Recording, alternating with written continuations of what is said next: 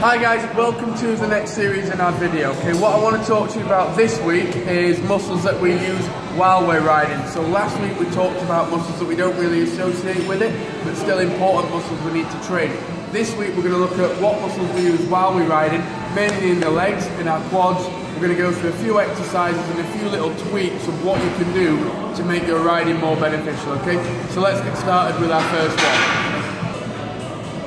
Okay guys, so we're going to look at the barbell squat, okay? Little tweak on this one, we're actually going to stand with a very close foot position. This will give us a lot more movement through our quads, so we'll power with our quads a lot more.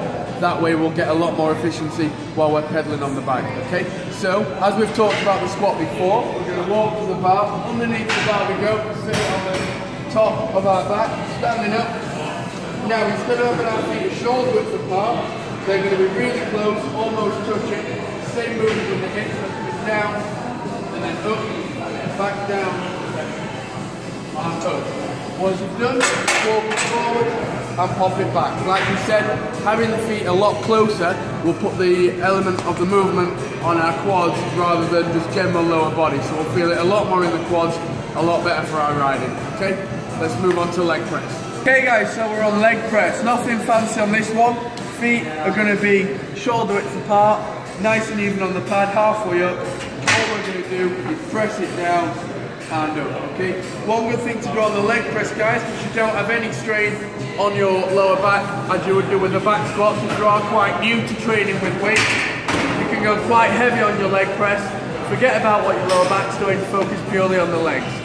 Next exercise. Okay guys, the last one, probably the most common leg machine that you'll have seen, leg extension. Nice and simple one on this one guys. All we do is sit in and move the chair, lift up if you need to. Best way to work this is go for plenty of volume. So aim for plenty of reps, 50 reps, 30 reps, anything like that. Get those quads burning, that'll be like what you're doing when you're on the bike, okay? Thank you for watching guys, and I'll see you later.